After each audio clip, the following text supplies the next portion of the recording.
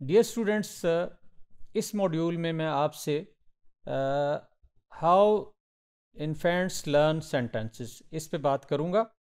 As a part of language development your child will begin to word sentences at around two years यानी दो साल की उम्र तक आपका जो चाइल्ड uh, है uh, वो दो सेंटेंसेस दो वर्ड्स वाले सेंटेंसेस बोलना शुरू कर देगा और स्टार्ट कर देगा। और by the age of three he will be able to produce sentences of more than three words or three words तो यानी वो तीन सालों की उम्र में जो उस वो है वो uh, तीन वर्ड्स uh, वाले सेंटेंसेस बोलेगा या प्रोड्यूस कर लेगा।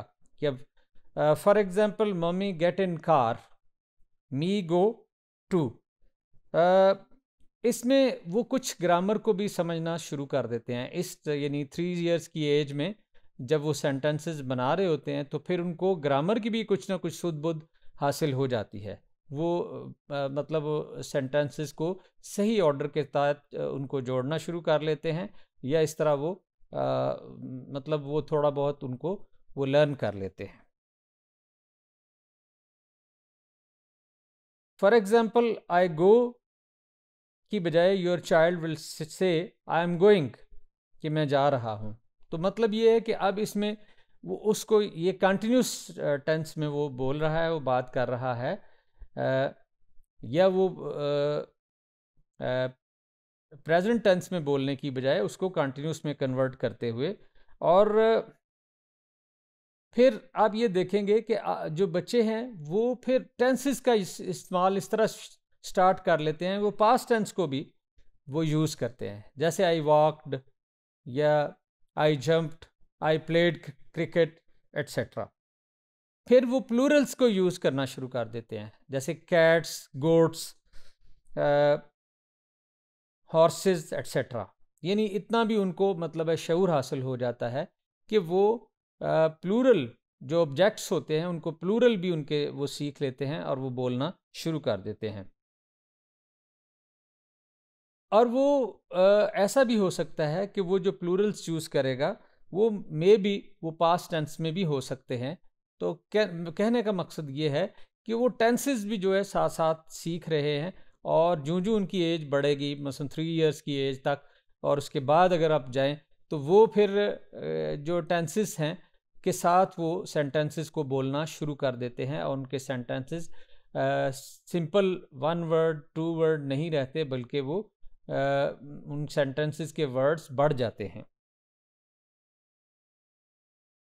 एक complete sentence has two parts one जो है उसका सब्जेक्ट है देन अदर इज़ वर्ब तो इसका मतलब है कि जब वो चाइल्ड या इन्फेंट सेंटेंस यूज़ करेगा तो वो क्या करेगा कि वो सब्जेक्ट और ऑब्जेक्ट को मिलाकर वर्ब को मिलाकर वो सेंटेंस बोलेगा और फिर इस तरह ये कंप्लीट वो सेंटेंस बनाएगा और ये सिंपल सेंटेंस कहलाता है और जिसमें वो ये और ऑब्जेक्ट के साथ शामिल होने से थोड़ा वो फ़िक्रा अगर इंग्लिश लैंग्वेज के हवाले से देखें तो वो मज़ीद कंप्लीट हो जाता है और उर्दू लैंग्वेज में भी देखें तो वो उनकी तरतीब डिफरेंट है इंग्लिश में तरतीब उसकी और तरह से है। तो क्या फिर ये है कि दो सिंपल वर्ड्स को जोड़ने के लिए वो दरमियान में कुछ कंजक्शन वर्ड्स बोलते हैं, लगाते हैं। वो कौन से वर्ड्स हैं? ये फ्रेजेस को जान जोड़ते हैं क्लाजेस को जोड़ते हैं और फिर ये इस तरह एक सेंटेंस यानी टू सिंपल सेंटेंसेस को जोड़कर एक कंपाउंड सेंटेंस बनता है और कंजक्शन के ज़रिए वो उनको जोड़, जोड़ा जाता है और ये कंजक्शंस क्या होते हैं? For and nor but or yet so तो इस तरह के जो जो स्मॉल वर्ड्स हैं, ये दो फिक्रों को जोड़ने के लिए जो जोड़े जाएँ, इनको कंजक्शन वर्ड्स कहा जाता है। और और फिर अगर हम कंपाउंड सेंटेंस की बात करें तो कंपाउंड सेंटेंस वो होता है जो दो सिंपल सेंटेंसेस को मिलाकर बनाया जाता है। उनको कम, जोड़ जा, जोड़ा जाता है। और ये याद रखें कि जब हम कंजक्शन जहाँ यूज़ करेंगे उससे पहले कॉमा यूज़ करेंगे। So muscle Andy build a snowman and Jeff and Jeff played with the with his dog तो अगर हम देखेंगे कि पहले सेंटेंस के एंड पर और कंजक्शन uh, वर्ड्स लगाने से पहले तो ये कॉमा लगाया और इस तरह करके तो नेक्स्ट अगर हम इसको थोड़ा देखें सेंटेंस स्ट्रक्चर में कंपाउंड सेंटेंसेस में हमने क्या करना है? ये देखना ज़रूरी है कि हमने कॉमा किस जगह लगाना है। किस जो मतलब ये है कि उसके लिए ये बहुत ज़रूरी है कि राइट राइट प्लेस पर, यानी दो सेंटेंस को मिलाने के लिए कंपाउंड सेंटेंस बनाने के लिए हम जो कॉमा है वो सही जगह पे कंजक्शन वर्ड से पहले पुट करें। और इसकी अब प्रैक्टिस भी हम कर सकते हैं कि मैं अब आपके सामने फ़र्ज़ करें एक फ़िक्रा बोलता हूँ तो आप उसमें जो है आपने उसको सही जगह पे उसका कॉमा पुट करना है।